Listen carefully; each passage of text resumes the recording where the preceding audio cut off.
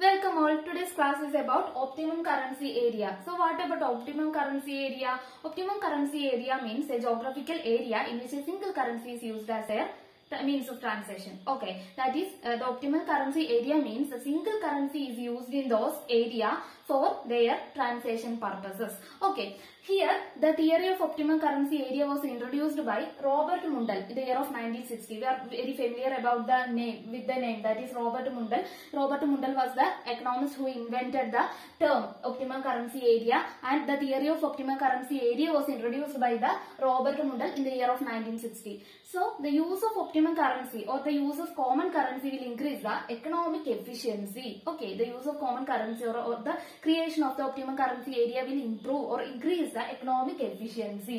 So here actually economic uh, the optimal currency area is the uh, group of countries or it is a geographical area in which a single currency will be used as their common currency. Okay, here um, if some countries suppose that some countries are using the uh, using same currency as their currency then we can say that these countries are going to be the final going to be in the final stage of their economic integration. So if some countries are using uh, common currency then we can say that these countries are going to be uh, the final stage going to be in the part of the final stage of their economic integration. Okay. So here uh, we know that the euro is a currency under uh, economic, uh, sorry, uh, optimum currency area. That is the euro, the countries, the countries which are using euro is collectively known as eurozone. Okay, the countries which are collectively using euro as their common currency is known as eurozone. And here uh, the actually the euro was introduced by the European Central Bank in the year of uh, 1999, uh, 1st January 1999,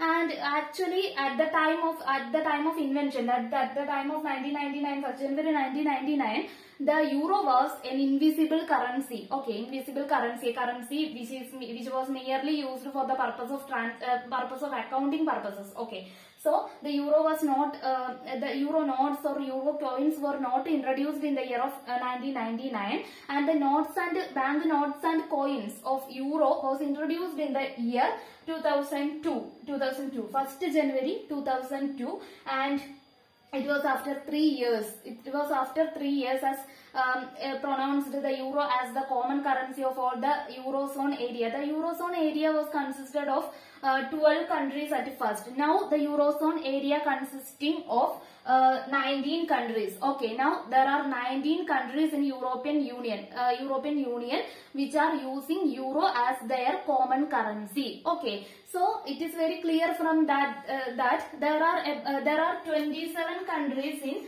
European Union. There are total uh, total 27 countries in European Union, but uh, not all the countries in European Union is using euro as their common currency. It is only uh, 19 countries uh, who are using or which are using the euro as their common currency. Okay.